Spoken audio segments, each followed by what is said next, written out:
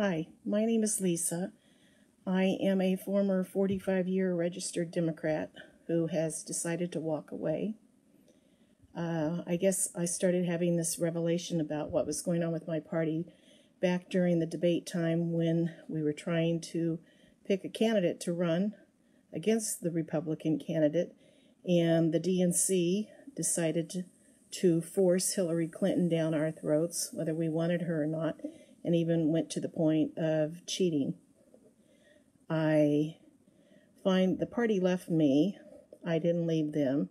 It's become a party of extreme left wing extremists uh, who are just filled with hate and anger, disrespect, lack of compassion, lack of tolerance, and that's not what the Democratic Party has represented to, to me for the last 45 years. I joined the party right at the tail end of the Vietnam War. It called to me, it was to be an inclusive party that was going to represent all people of all color, of all sexuality. And it was the party of, of love and compassion and tolerance and respect for the freedom of speech. And those those things are gone now.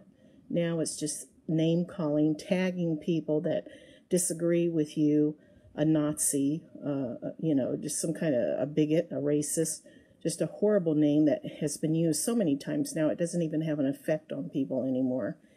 And it's just identity politics, and it's pretty disgusting. I'm embarrassed at the direction my party's gone. It is certainly leaning more towards a socialist party now, and none of my representatives have done anything to try to stop it. And so they no longer share the values that I have, and I will be taking my vote elsewhere. I have moved more into the independent and will be voting for who I want. And I will not have a party dictating to me and forcing a candidate down my throat. I could never, in good conscience, vote for Hillary Clinton. And I am not a Russian. I've never been to Russia. I don't speak Russian. I'm certainly not a robot to the best of my ability. And I am just absolutely disgusted that mainstream media is trying to do its best to discredit this movement. The movement now has 110,000 people in it that are pretty much like me. They're sick of the nasty politics and they just want to to be more moderate and so they've chosen to walk away.